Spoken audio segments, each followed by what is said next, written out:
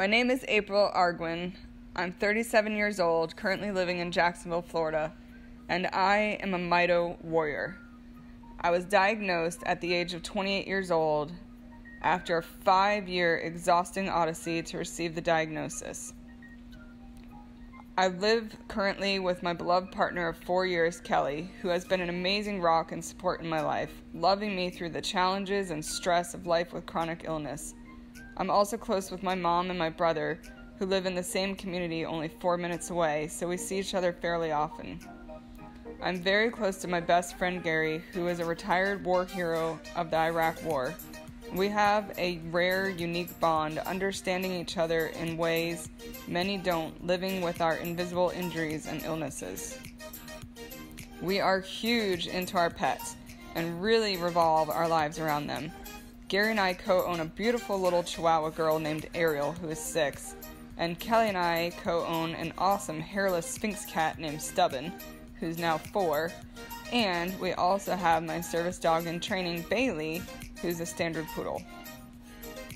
Our lives with Mito are not easy, but we make the best we can of a very hard situation. And we practice a lot of balance to keep our lives flowing as best as possible to minimize stress, and additional flares of my Mito symptoms. My partner Kelly works full time as a financial executive at a local company, and we also, together with my family, own and operate an online holistic pet care business. Because my brother, who is 41, is also affected by Mito, we found as a family that we could work together to balance the demands of our own business better than we were able to continue working for others when we became disabled by our symptoms. Our days are focused around keeping our business running smoothly and being there for our customers and working towards finding new ways to improve and innovate to help others better care for their pets. My role in the business is to provide online and phone consultations with fellow pet parents to teach them how to feed their pets a balanced homemade diet and how to heal their pets of chronic illnesses like IBS, chronic infections, or skin allergies. I was very excited to have an opportunity to continue my education in 2018, and I enrolled in an online class to become a certified pet nutritionist. I'm now also certified currently to become a pet master herbalist. The school is virtual and home study, so I'm able to go at my own pace and not increase my symptoms. I had thought I would never have a chance to go back to college again, so this means the world to me. When we're not doing business school stuff, we're enjoying our pets, taking them on walks, or me sometimes wheeling.